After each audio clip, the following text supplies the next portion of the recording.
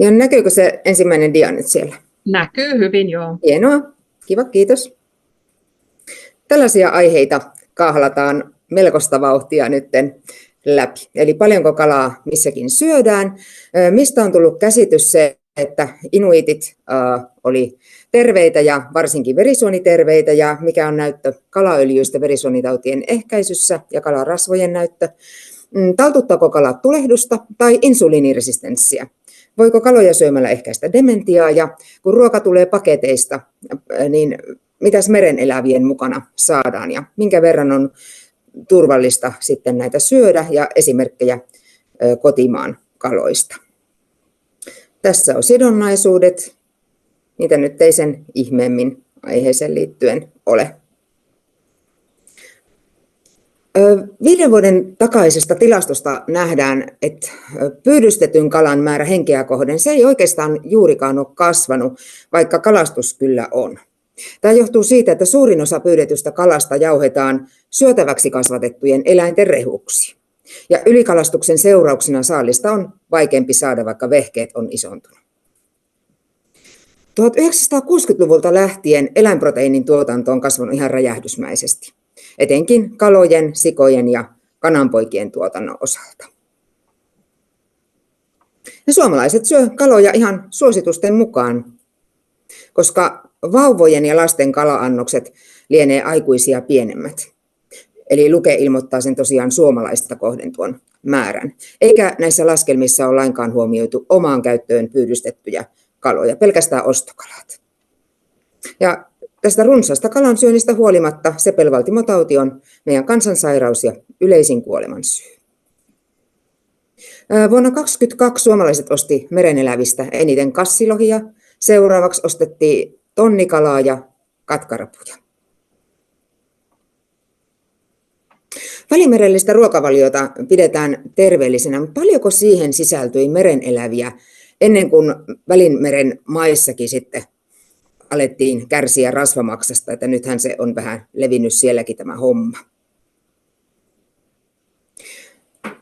Suomalaiset itse asiassa syö meren eläviä kuin perinteiseen tapaan aterioivat kreikkalaiset. Mutta jos katsotaan tuota eläinperäisen ruoan kokonaismäärää, maitotuotteet mukaan lukien, niin siinä kreikkalaiset noudatti kohtuutta toisin kuin suomalaiset. Eli Kreikassa kaikki päivittäinen eläinperäinen ruoka ja juoma painoi yhteensä 230 grammaa. monesti kuulen sanottavan, että no Okinavalla siellä elettiin pitkään, kun syötiin niin paljon kalaa, mutta ei nyt niin mahottomasti. Yksi prosentti energiasta tuli siellä meren elävistä. Ja se tarkoitti noin 100 grammaa viikossa. Terveistä satavuotiaistaan kuuluisessa Sardiniassa on perinteisesti syöty kaloja vain 16 grammaa viikossa, eli 1 160 gramman kalaateria noin 10 viikon välein. Ja saman Blue Zone eli sinisen vyöhykkeen pitkäikäisiin väestöihin kuuluvalla Nikojan saarella kalansyönti oli vähäisempää kuin Suomessa nyt. Viides Blue Zone ruokakulttuuri on Yhdysvaltojen Lomalindan vegetaristi-adventistien väestö. Ja ylipäätään, kun siellä kaikki haluaa syödä niin kuin terveellisesti, siellä sekasyöjät syö paljon terveellisemmin, mitä suomalaiset ravitsemussuosituksetkaan on, niin tuota, siinä joukossa, mitä enemmän ikää kertyy, sitä kasvisvoittoisemmaksi ruokakulttuuri käy. Ja kuten tuossa alussa nähtiin, niin kalojen häkkikasvatus on yleistynyt ihan eksponentiaalisesti ja, ja kalojen terveellisyyttä hehkutetaan ihan joka mediassa itsekin ajattelin ennen kuin luin näitä tutkimuksia, että jos sitten tuli vastaan joku tutkimus, tai kun aloitin tutkimusten lukemiset, tuli jotain tutkimusta, missä kala ei olisikaan ollut niin terveellinen, niin mä aina ajattelin, että tässä on varmaan joku virhe. No joo, tämä Eskimo-myytti, se sai alkunsa jo aika päiviä sitten murretusta väärinkäsityksestä. Ja tämä väärinkäsitys elää edelleen myös jopa käypähoidon lähdeviitteistä. Siksi teidän on tärkeää tietää, mistä ihmeestä tässä on kyse. Eri kulttuurien ruokatottumuksia tutki tämmöinen kuin Sinclair, ja hän havaitsi 40-luvulla, että inuitit, jotka söi hengenpitimikseen lähinnä vain hylkeitä läpi talven, niin heillä oli herkästi mustelmia ja verenvuotoja. Ja tämä Sinclair ajatteli, että tämä verenvuotoherkkyys voisi yhdistyä veritulppien vähäisyyteen. Tämmöinen idea tuli. Ja sitten kun tämä Sinclair haastatteli näitä periferian inuitteja, niin heille ei ollut niin tuttuja tämmöiset sanat kuin sepelvaltimotauti tai diabetes, niin hän sitten ajatteli, että siellä ei ole näitä sairauksia. Ja näin sitten sai tuulta tämä väärinkäsitys. Mutta tätä ei ne tutkijat tulleet ajatelleeksi, että inuitithan ei, ei päässyt kasviksiin käsiksi. Ja ihan niin kuin 1800-lukulaisten merenkulkijoiden lailla he olivat alttiita C-vitamiinivajeelle, pahimmillaan keripukille, ja tähän lisää verenvuotoherkkyyttä. Et mahtoko inuitit syödä hylkeiden maksoja ja munuaisia raakana riittävästi välttääkseen keripukin vai mahtoko ne päätyä ne sisäelimet enemmänkin sinne rekikoirille, joita heillä myös oli? Mä en löytänyt tästä mainintoja. Ja tämäkin vielä tuota, kaiken kukkuraksi, että paitsi että se sydänsairastavuuteen liittyvä termistö oli inuitille vierasta, niin heistä 30 prosenttia asui terveydenhuollon ulottumattomissa. Yleisiä kuolemansyitä oli tuberkuloosi ja tapaturmat. Ja kun siellä kulkeminen oli niin hankalaa ja ei ollut tämmöistä järjestettyä terveydenhuoltoa, niin lähin terveysviranomainen pystyi tekemään kuolintodistuksen ihan vain luotettavaksi katsotun henkilön ilmoituksen perusteella ruumista edes näkemättä. Ja tätäkään nämä tanskalaistutkijat Bang ja Dörber eivät tilastoja tulkitessaan tulleet huomioon ottaneeksi. No sitten tämmöinen lääkäri kuin Bent Harvald, hän ihmetteli äh, sitä, hänkin ensin uskoi tähän sydäninfarktien olemattomuuteen, mutta hän ihmetteli sitä, että miten se on sitten mahdollista, että kun sepelvaltimotaudin seurauksena kehittynyt sydämen vajatoiminta oli heillä kuitenkin tavallinen kuolinsyy. Ja lisäksi yli 50-vuotiailta Grönlannin inuiteilta otetuissa sydänfilmeissä oli vähintäänkin yhtä usein poikkeavuuksia ja merkkejä sairastetuista sydäninfarkteista kuin monissa länsimaissa. No, Bang ja Dörber, he päätyivät kuitenkin nurinkurisesti käyttämään tätä Harvardin lausuntoa oman teoriansa lähdeviitteenä. Tämä meni jotenkin vinksalleen tämä homma. Sitten lääkäri Bertelsen, hän julkaisi jo 1940 kirjan inuitien sepelvaltimotauti-sairastavuudesta. Mutta tämä kirja ei oikein käynyt kaupaksi. 1970-luvulla Bang ja Dörber havaitsi, että inuittien syömien merinisäkkäiden rasva sisälsi runsaasti pitkäketjuisia omega-3-rasvahappoja, eli EPA ja DHA, ja vain vähän kovaa rasvaa. Ja tästä se sitten sai, sai tuota, tulta alleen tämä EPA- ja DHA-valmisteiden suotuisten vaikutusten osoittamiseksi tehty tutkimus. Kalateollisuus lähti siihen oikein innolla mukaan. Ja nämä Bang ja Dörberin 70-luvun raportit, ne sai ihan sensaatiomaista julkisuutta. Mm, kun heidän todisteiden pitävyyttä kritisoitiin, esimerkiksi tutkijat Kroman ja Green vuonna 1980, niin ne vaan hissuteltiin hiljaiseksi. Ja tämä vääräksi osoitettu olettamus sepelvaltimotaudin harvinaisuudesta inuittien keskuudessa, se lähti elämään ihan omaa elämäänsä. Myytin alulle panijaa lähinnä hylkeitä syövillä inuiteilla havaittua ja mahdollisesti keripukista johtuvaa verenvuotoherkkyyttä ei ole saatu koehenkilöille aikaan rasvaisilla kaloilla, mutta sillä nyt ei enää ollut mitään väliä. Ja viimeistään toisten tanskalaistutkijoiden vuonna 2008 inuittien keskuudessa tekemä järjestelmällinen väestötutkimus mursi myytin meren eläimistöön keskittyvän ruokavalion sydänterveellisyydestä.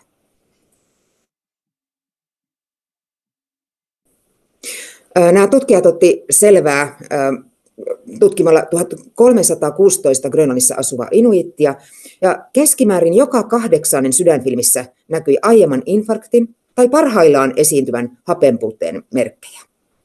Ja tämä on aika hurjaa, että sepelvaltimotautilöydöksiä havaittiin jopa alle 25-vuotiailla. 18-24-vuotiaista nuorista miehistä ja naisista noin kuudella prosentilla nähtiin sydänfilmissä vallitsevaa hapenpuutetta. Ja vastoin ennakko-odotusta sepelvaltimotauti olikin yleisintä perinteikkäinä säilyneillä alueilla, joihin länsimaistuminen ei vielä ollut yltänyt. Eli siellä, missä niitä merinisäkkäitä eniten pyydettiin. Verenhuonot rasva-arvot, diabetes, kohonnut verenpaine, ne yhdisty sepelvaltimotautiin, kuten vähäinen liikunta ja matala koulutuskin. Ihan tutun kuuloista.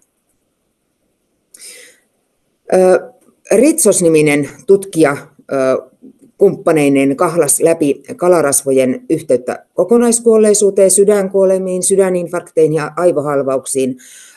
He kävi läpi 2012 mennessä tehdyt 20 tutkimusta, joihin oli osallistunut yhteensä 68 680 potilasta, ja joista yli 7 000 oli kuollut keskimäärin kahden vuoden seuranta-aikana. Se tutkimusten kestoväli oli vuodesta 6,2 vuoteen. Nämä oli tehty, 18 tutkimusta oli tehty näillä kalaöljykapseleilla ja kahdessa tutkimuksessa oli mukana sitten kalan syönti. Nämä oli tämmöisiä DART-tutkimuksia. Kalaöljykapselitutkimusten yhteenveto oli, että niillä ei havaittu tilastollisesti merkitsevää yhteyttä äkkikuolemiin, ei sydäninfarkteihin, ei aivohalvauksiin eikä kokonaiskuolleisuuteen. No entäs ne DART-tutkimukset? Ensimmäinen DART-tutkimus 1980-luvulla kesti kaksi vuotta. Silloin jo tiedettiin, että tonnikalasäilykkeitä ei kannata syödä, jos terveenä haluaa pysyä, niin ne kiellettiin kalaryhmän koehenkilöiltä. Toisen ryhmän tuli kiinnittää huomiota rasvan laatuun ja kolmannen ryhmän tuli lisätä viljakoidun määrää. Sekoittavat tekijät, tämä oli tämmöinen jännä, jännä mitä he päätyi sitten valitsemaan, niin sydäninfarkti, rintakipu, verenpainetauti, keuhkokuva, muutoksia ja sydän- ja verenpainelääkkeet ja veren hyytymisen estolääkkeet, mutta ei juurikaan niin kuin elintapoja vakioitu. No entäs ne tulokset? Kokonaiskuolleisuus oli kalaryhmässä pienempi ihan alusta alkaen. Ja tämä viittaa siihen, että ryhmien välillä oli jotain alun perin ennusteeseen vaikuttavaa eroa. Ja sitten tässä herättää huomion sen, että mun järkeen ei käy, että sama tekijä lisäisi sydäninfarktien, siis ei-tappavien sydäninfarktien esiintyvyyttä 50 prosenttia, mutta silti vähentäisi sydän- ja verisonitautikuolleisuutta. Tutkijat ei ilmoittanut noita infarktilukuja tuon vakioinnin jälkeen.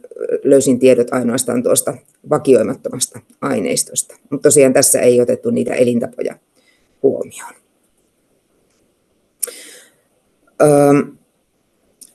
Eli jos ajattelee nykyään, niin kuolleisuustutkimus, jossa ei vakioitaisi muun muassa tupakointia, alkoholin käyttöä ja fyysistä aktiivisuutta, niin tuskin menisi vertaisarviossa läpi. Ja myös tuo kahden vuoden aikaikkuna oli aika lyhyt. Mutta onneksi lääke- ja kalateollisuus innostui tästä tuloksesta niin, että rahoittivat sitten paljon mittavamman DART-2-tutkimuksen, joka käynnistettiin vuonna 1990. Tähän DART-2 osallistuneita alussa keskimäärin 61-vuotiaita vakaata sepelvaltimotautia sairastavia yli 3000 miestä seurattiin kolmesta yhdeksän vuotta. Kalansyöntiryhmäläisille annettiin mahdollisuus syödä kalaöljykapseleita vuodesta 1993, jos eivät halunneet syödä kalaa, ja vastaavasti kapseliryhmäläiset sai valita kalojen syönnin tuosta vuodesta eteenpäin. Kolmannen ryhmän tuli syödä heviä, juoda vähintään lasillinen appelsiinimehua päivässä, mikä nykyään tiedetään, että ei ole kauhean terveellistä. Ja sitten heidän piti syödä aika, aiempaa enemmän kauraa. Ennen tulosten vakiointia näytti siltä, että kalaryhmä kuoli, niin kuin, kalaryhmällä kuolleisuus oli, oli tuota, lisääntynyt, mutta tästä tehtiin asiallinen vakiointi. Ja kun asiallinen vakiointi tehtiin, eli otettiin myös nuo huomioon tuo tupakointikin muun muassa, niin silloin kalojen syönnillä ei havaittu kuolemiin tilastollista yhteyttä. Mutta Näistä vakioidusta tuloksista nähdään, että kalaöljykapseleita syöneiden sydänperäisen kuoleman riski oli lähes puolta suurempi ja äkkikuoleman riski peräti 84 prosenttia korkeampi kolmesta yhdeksään vuoden seuranta-aikana. Mutta kokonaiskuolleisuus ei kuitenkaan noussut tilastollisesti merkitsevästi. Korealaiset tutkijat halusivat selvittää sitten tämmöisissä satunnaistetuissa lumekontrolloiduissa tutkimuksissa saadut tulokset ja he kävi läpi sitten oikein urakalla näitä. Heidän oli vielä tarkoitus erotella teollisuuden kustantamat tutkimukset tämmöisistä neutraaleista, mutta se ei onnistunut, koska yli 20 000 potilaan aineistoissa lähes kaikki tutkimukset oli lääkeyritysten rahoittamia. Yhtä kaikki nämä EPA- ja DHA-lisät eivät tuoneet potilaille ennusteellista etua. Tätä tutkijaryhmää toiset arvosteli siitä, että he otti mukaan vain tämmöisiä sokkoutettuja tutkimuksia. Avoimissa tutkimuksissa, kuten GITSI, kalaöljytutkimus, niin siinä tulkitsijat tiesi, mihin ryhmään osallistujat kuuluvat, niin silloin oli saatu parempia tuloksia. Ja arvostelijoita oli muun muassa tämmöinen Huh ja Manson nimiset kalaöljytutkijat, ja he totesivat, että heillä on nyt menossa semmoinen tutkimus, joka varmasti pystyy osoittamaan EPA- ja DHA-lisien hyödyt, että tutkittavien määrä on niin suuri. Ja sitten tutkimusaika yli viisi vuotta. Tähän Vital-tutkimukseen osallistui 50 yli 25 000, melkein 26 000 naista ja miestä. Ja he jaettiin tuolla viisiin neljään ryhmään. Eli gramma, epa- ja DHA-valmistetta ja sitten ja tai D-vitamiinia ja sitten ketkä niitä ei saaneet, niin sai lumekapselit. No, kuinka siinä sitten kävi? Päätyvät samaan tulokseen kuin ne korealaiset. Omega-3 kalaöljykapselit eivät ehkäisseet sydän- ja verisuonitautiperäisiä kuolemia, ylipäänsä kuolemia, eivätkä myöskään syöpäkuolemia. Sen sijaan D-vitamiini vähensi syöpäkuolemia 25 prosenttia, eli neljänneksen sen viiden vuoden aikana. Kalaöljyryhmässä syöpää ilmaantui hiukan useammin, mutta tosiaan se, ei, se syöpäkuolleisuus ei lisääntynyt sen viiden vuoden aikana siinä ryhmässä. Ja kokonaiskuolleisuuteen ei tullut eroa. Eli ei niistä epä- ja DHLisistä ollut merkitsevää haittaakaan. Mutta jos muistellaan vielä sitä Eskimo-myytin alkua, että, että oli mustelmaherkkyyttä ja verenvuotoherkkyyttä, niin ö, ei ollut mustelmia kalaöljyä saaneilla muita enempää. No, voisiko olla sitten kuitenkin jotain haittaa? Vuonna 2021 yli 80 000 potilaan koosteanalyysissä havaittiin, että kalaöljy lisää käyttäneillä eteisvärinä rytmihäiriötä eli flimmeriä esiintyi neljänneksen enemmän. Ja tämä oli annos vasteinen sillä viisiin, että kenen EPA- ja DHA-annos ylitti yhteensä gramman päivässä, niin eteisvärinä riski oli puolet suurempi kuin lumetta saaneilla. Jo kymmenen vuotta sitten Fodor-tutkijaryhminen totesi näin. Vaikka Bang ja Dörber eivät edes tutkineet sepelvaltimotaudin yleisyyttä inuittien keskuudessa, heidän artikkeleitaan siteerataan edelleen todisteena Eskimodietin, lainausmerkeissä Eskimodietin sydänterveellisyydestä. Ja näin edelleen tapahtuu. Esimerkiksi tuossa tuo Rodriguez kumppaneineen väitti toissa vuoden julkaisussa, että Bang ynnä muut osoittivat kalaöljyn pienentävän sydän- ja verisuonitautikuolleisuutta Grönalin inuittien keskuudessa. Ja se ei ole totta. No sitten, auttaisiko nämä tulehdukseen? Lainaus Kalder-nimisen tekstistä. Ihmisillä tehdyissä tutkimuksissa pitkäketjuisten omega-3-rasvahappojen teho on osoitettu reuman hoidossa. Ja tässä tätä väittämähän perustelee sitten omalla toisella artikkelillaan, että sen lähdeviitteistä löytyy ja niitä lähdeviitteitä oli yksi, anteeksi, yli 200 siellä aiemmassa artikkelissa ja sieltä sitten löytyi yksi reumapotilailla tehty tutkimus, jossa ei todettu kalojen syönnistä eikä epälisästä hyötyä. Tässä on se tutkimus. 17 potilaan oli määrä syödä kalaa niin paljon kuin napa veti, ja lisäksi heidän oli otettava omega-3-kapseli. Sen sijaan heiltä kiellettiin lihajalosteet, rasvaiset maitotuotteet ja kaikki juustot. Ja nisäkkäiden lihaa sai syödä korkeintaan kahdesti viikossa. Verrokkiryhmän taas piti välttää kalojen syöntiä ja pehmeitä rasvoja. Verrokkeja oli 20 henkilöä. Verrokkeilla kovan rasvan saanti jossain määrin lisääntyi ja nivelten aamujäykkyys paheni. Kummassakaan ryhmässä tulehdusarvot tai rasva-arvot eivät muuttuneet tilastollisesti merkitsevästi.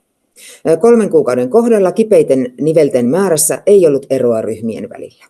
Mutta tässä epäilisän havaittiin pidentäneen vuotoaikaa. Mutta tämä oli sitten se ainoa Kalderin löytämä näyttö kalojen tai kalarasvojen hyödystä reumaa sairastavien hoidossa. Eli tässäkään sitä hyötyä ei sitten ollut. Kokeneet suomalaistutkijat onkin todennut, että suurimmassa osassa tutkimuksia EPA- ja DHA-lisät eivät ole lievittäneet tulehdusta.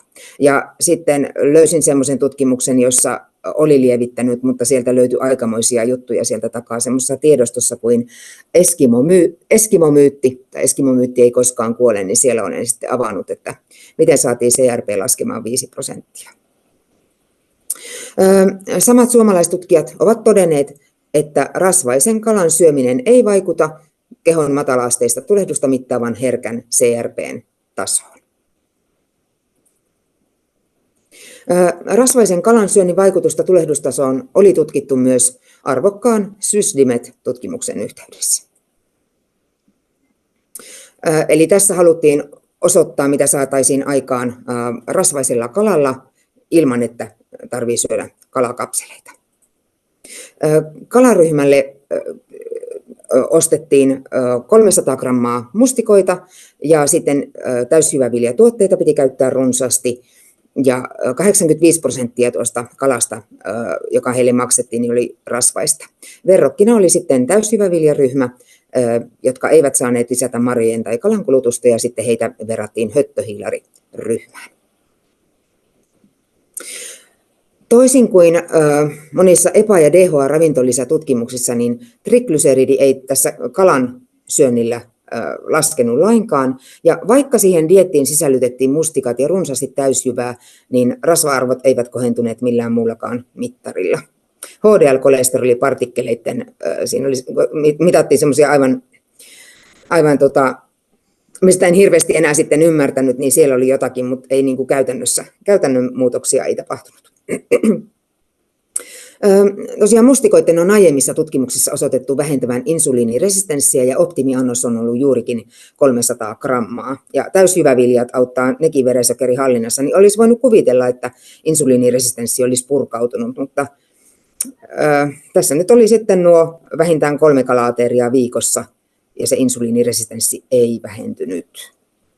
Ja kuten tutkijat äh, edellä totesivatkin, niin kalojen syönti ei yhdistynyt myöskään CRP-laskuun. Sen sijaan, kun tutkittiin yhteyksiä näillä ruoka-aineilla, niin täyshyväviljojen käyttöön CRP-laskua tässä Systimet-tutkimuksessa liittyi. Kalat ovat eläimiä, joiden lihakset ovat eläinproteiinia. Kaloissakin kiertää veri, ja se on, siinä on hemirautaa. Kalojen solut on eläinsoluja, joiden seinämissä on kolesterolia. Kasvisolujen seinämissä muistin virkistämiseksi, siellähän on sitä kuitua.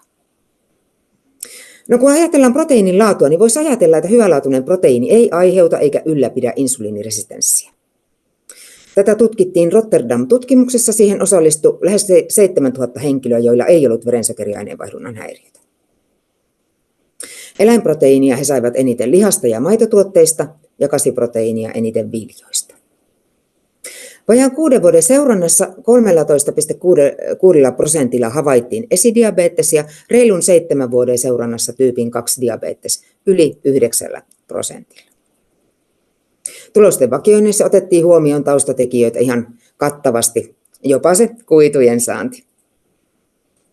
Tutkijat analysoivat, että miten käy, jos hiilihydraattien sijaan syödään proteiinia enemmän sisältäviä kasvikunnan tuotteita. No, ei käynyt mitenkään. Mutta hiilihydraattien sijaan eläinproteiinia syömällä tai juomalla tyypin 2 diabeteksen riski nousi ihan annosvasteisesti. Ja hieman yllättäen eniten riskiä nosti kala. Hiilihydraattien sijaan viiden energiaprosentin verran, eli 2000 kalorin, anteeksi, kilokalorin ruokavaliossa 25 grammaa kalaproteiinia yhdistyi 65 prosenttia suurempaan todennäköisyyteen sairastua insuliiniresistenssistä johtuvaan diabetekseen. Tuossa on taulukko niille, ketkä haluaa sitten tarkemmin noita lukuja tutkiskella. No miksi eläinproteiini sitten altistaa insuliiniresistenssille? Sekin on selvitetty. Muun muassa harketysillä aminohapoilla, hemiraudalla, kovalla rasvalla ja kolesterolilla on siihen osuutensa. En mene nyt tähän sen tarkemmin, löytyy sitten näistä dioista. Kun kehoa lakataan vahingoittamasta, niin sillä on taipumus purkaa insuliiniresistenssi. Tässä tiedostossa on sitten siitä aiheesta paljon tutkimustietoa. Koeasetelmissa erityisesti tuo DHA on lievittänyt koeeläimille kudoksille tai soluille laboratoriossa aiheutettuja vaurioita. Ja verisuonivaurioita saadaan aikaan syöttämällä eläimille runsaasti kovaa rasvaa ja tai kolesterolia ja tai galaktoosia tai muuta sokeria. Verenkiertoon, vatsaonteloon tai niveliin pistetyt lipopolysakkaridit, eli bakteerien soluseinämien endotoksiinit, sellaiset seinämyrkyt, saa aikaan voimakkaan tulehdusreaktion. Ihmisten verenkiertoon näitä pääsee suoliseinämän läpäisevyyden lisääntyessä. Ja sitä taas tapahtuu, jos kuituja saadaan liian vähän tai jos stressiä kertyy enemmän kuin sitä kompensoidaan. Semmoinen villi ajatus näitä tutkimuksia lukiessa tuli, että mitä jos otettaisiin askel taaksepäin? Mitä jos lakattaisiin vahingoittamasta? Ja tämähän on ihan koko elämäntapalääketieteen idea. Koko kasvisruuilla tulehdusta voidaan lievittää. Ja sen antioksidanteilla voidaan kompensoida stressiä. Ja samalla minimoidaan kehoa vahingoittavien ainesosien määrä. Jos runsaskalojen, maitotuotteiden, kananpoikien ja munien syönti olisi terveellistä, niin Suomen kansa pursuaisi terveyttä. Sitten muistisaurauksia ajatellen, niin väestötutkimuksissa yhdysvaltalaisille kalan syönti vaikuttaa olevan hyödyllisempää kuin eurooppalaisille. Tässä on yli 5000 hollantilaisen seurantatutkimus. Niin näiden keskikäisten henkilöiden verenpaine ja kolesteroli oli sitä korkeammat, mitä enemmän he söivät kaloja. Vajassa vuosikymmenessä 9 prosenttia tutkituista sairastui Alzheimerin tautiin. Monimuuttuja-analyysissä toki sitten vakioitiin ne verenpaine ja kolesteroli. Mutta tästä huolimatta niin kalojen syönti tai omega-3-rasvahapot eivät varjelleet hollantilaisten aivoja. Eikä ne kalaiset ruokavaliot suojelleet myöskään ruotsalaisten aivoja tässä 28 000 henkilön 20-vuotisessa seurantatutkimuksessa. Ja nämä tutkijat huomioivat myös geneettisen riskin. Alzheimerin tautia sitä on kutsuttu tyypin kolme diabetekseksi, eli siihenkin liittyy se insuliiniresistenssi. Itä-Suomen yliopiston johtamat SysDiet ja SysDimet-tutkimukset osoitti, ettei suositusten mukainen sekaruokavalio, vaikka se toteutettaisiin miten terveellisesti, niin ne ei pura insuliiniresistenssiä. Se purkaminen onnistuisi näillä ruokavalioilla vain merkittävään laihtumiseen johtavalla kalorirajoituksella. Ruoka tulee paketeissa. No, mitäs meren elävien mukana ihmiseen kulkeutuu muuta kuin omega-3? Kalojen joukkolääkinnässä käytetyt lääkeaineet päätyy vesistöön. Ja tämä on potentiaalinen antibioottiresistenssiä aiheuttava tekijä, mutta siitä ei juurikaan puhuta. No, vähän ehkä puhutaan siitä, että raskasmetallit ja muut myrkyt, ne kertyy ravintoketjussa. Mutta kala- ja kaivosseminaarissa todettiin, että kaloista saatu nikkeli ei se ole haitallista, koska ravinnon nikkelistä imeytyy vain muutama prosentti ja sitä paitsi nikkeli erittyy nopeasti virtsaan. Joskus kaloista mitataan niin korkeita raskasmetallipitoisuuksia, että on parempi olla ihan niitä huomioimatta. Näin oli esimerkiksi Kainuussa 2016 mitattujen kalojen alumiinipitoisuusmittausten laita. Eli todettiin, että niitä ei sitten hyödynnetty. Rokotteissa alumiinia on vain vähän, keskimäärin 1,25 milligrammaa per annos, mutta sitten on tietty ruokaryhmä, jonka alumiinipitoisuudesta kyllä varoitetaan. Siemenet. Eniten alumiinia sisältänyt siemenerä löytyi chiasiemenistä, joita tämän kaikista korkeimman mitatun arvon mukaan ei passaa syödä yli 90 grammaa, eli ei yli 11 ruokalusikallista päivittäin loppujen ajan. Jos katsotaan sitten noita pitoisuuksia, niin äyriäisissä ja nilviäisissä alumiinia on enemmän kuin siemenissä. Mustekalojen, etanoiden, simpukoiden, katkarapujen ja rapujen käyttösuosituksissa ei raskasmetalleja juurikaan huomioida, mutta syytä olisi. Markkinointi on tehnyt tehtävänsä. Katkaravut, nehän oli suomalaisten ostoslistalla pronssisijalla heti lohen ja tonnikalan jälkeen. Mutta miksi tuo ehdotettu 75 grammaa katkarapuja päivässä on liikaa? Epäorgaaninen arseeni, se on arsenikin myrkyllinen muoto.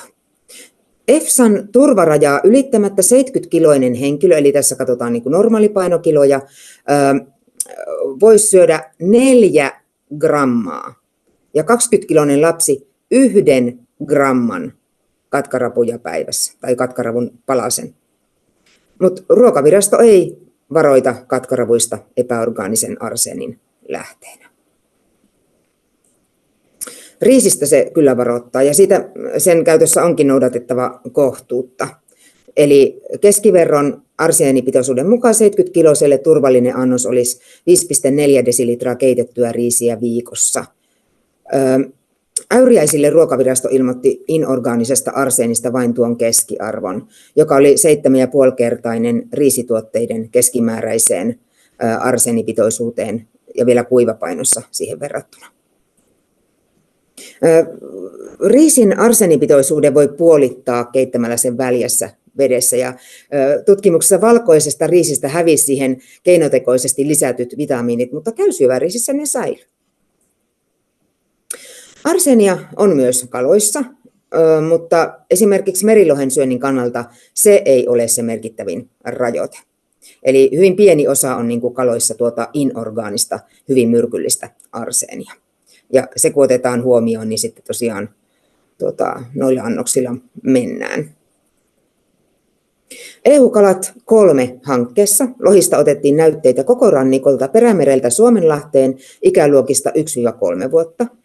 Yhtä märkäpaino grammaa kohden lohissa oli dioksiineja ja BCB-yhdisteitä 8-9 pikogrammaa, eli sadassa grammassa lohta on 800-900 pikogrammaa näitä immunipuolustusta ja hormonitoimintaa häiritseviä myrkkyjä. Joka ikisen lohen dioksiini- ja PCB-pitoisuudet ylittivät EUn enimmäispitoisuudet. Tuossa kaaviossa pitoisuudet on ilmoitettu yhtä tuorepainogrammaa kohden. Ja hankkeessa ei edes tutkittu kutemaan nousevia lohia, koska tiedetään, että ennen kutua ympäristömyrkkypitoisuudet voi suurentua jopa nelinkertaisiksi, niin eihän niitä silloin kannata mitata. Jo pelkästä lohialtistuksesta näiden myrkkyjen osalta keskivertoaikuinen ylittää EFSAn eli Euroopan ruokaturvallisuusviraston asettaman turvarajan syödessään merilohta yli 16 grammaa viikossa tai 160 grammaa neljästi vuodessa. Anteeksi, tuossa mä olin katsonut tuon tuota, korkeimman mukaan, sitten mä katoin tuota, alemman, alemman pitoisuuden mukaan, eli mäpäs näytän tuon aikaisemman, eli tuo vaihteluväli, niin sen takia, sen takia nämä eri luvut. Öm, Euroopan ruokaturvallisuusvirasto totesi 2015, että eurooppalaisilla dioksiinialtistus on liiallista taaperoiästä lähtien. Dioksiinien ja PCBn osalta 70 kilon mukainen viikoittainen turvaraja 4,2 mikrogrammaa ylittyy sitten 22 grammasta merilohta viikossa tai 220 grammasta kolmen kuukauden välein syötynä. Eli siinä katoin, tämän katoin sen tuota, alimman mukaan.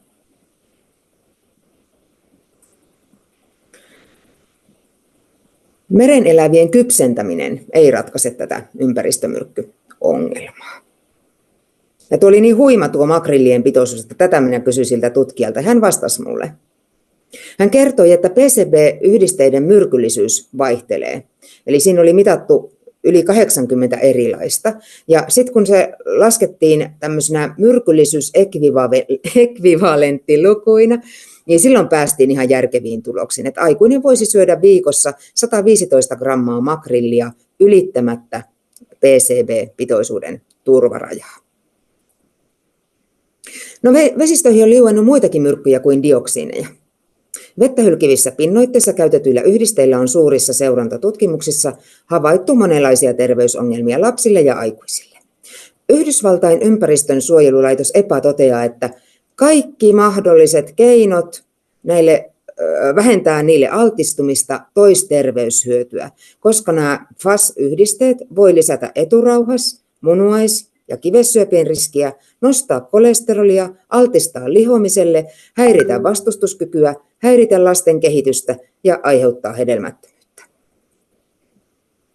EFSAn asettamat turvarajat FAS-yhdisteisiin kuuluville FOAlle ja FOSSille ovat 6 nanogrammaa ruumiinpainokiloa kohden viikossa ja 13 nanogrammaa ruumiinpainokiloa kohden viikossa. Eli FOAlle 6, FOSSille 13 nanogrammaa per ruumiinpainokilo per viikko. Näistä olisi kiva puhua enemmän, mutta tota, ken englantia ymmärtää, niin suosittelen tätä ihan mahtavaa, mahtavaa koostetta aiheesta. Eli geofyysikko Chris äh, McAskill, niin hän uppoo asioihin vähintään yhtä syvälle kuin minä, niin hän on tehnyt ihan loistavan haastatteluvideon, missä hän ihan näitä, ketkä on tutkinut tätä aihetta, niin haastattelee heitä suoraan ja käy paljon kirjallisuutta läpi, mutta hauskalla tavalla. No, jos turvarajaksi otetaan FOS ja FOAT, ö, yhteensä noin 10 nanogrammaa per painokilo per viikko, niin 70-kiloinen aikuinen voi syödä perämeren muikun lihaskudosta 140 grammaa viikossa ja mätiä 21 grammaa viikossa. Ja sama 140 gramman viikkoraja pätee myös sisävesien muikkuihin. Järvialueiden kuhista löytyi erityisesti pitkäketjuisia perfluorattuja karboksylihappoja ja sitten tulee semmoisia lyhenteitä, että näihin minä en ole perehtynyt, mutta kuulostaa myrkylliseltä. No joo, Pe, eli perfluorat, perfluorattuja DOA-yhdisteen osalta pitoisuudet, ne oli yhtä korkeat kuin merialueiden kuoreissa, joiden FAS-yhdisteiden kokonaispitoisuudet oli sitten suurimmat, mitä koko hankkeessa mitattiin. Ja elohopea on tuossa kuhassa aika lähellä tuota, tuota, säädettyä rajaa. No niin, tämä kuore. Kuoreen FAS-pitoisuudet oli niin korkeita, että tulos varmistettiin vielä uusinta näytteellä. No miten suomalaisia sitten varoitettiin näistä hurjista tuloksista, jotka saatiin vuonna 2018? Nyt korvat hörölle. Kevään 2020 kuoreesta gourmet-kala-hankkeessa todettiin, että kuoretuotteiden markkinointiin tulee kiinnittää erityistä huomiota, liittyyhän siihen useita haasteita. Sosiaalista mediaa tulee hyödyntää ja kuoreen imagoa nostaa. No niin. Kissa, kissa on samaa mieltä. EU-kalat 1, 2 ja 3 hankkeiden, no niin, no niin, oi ei, anteeksi kissahäiriö. EU-kalat 1, 2 ja 3 hankkeiden tavoitteena on lisätä kalojen menekkiä sekä rehuihin että suoraan ihmisille.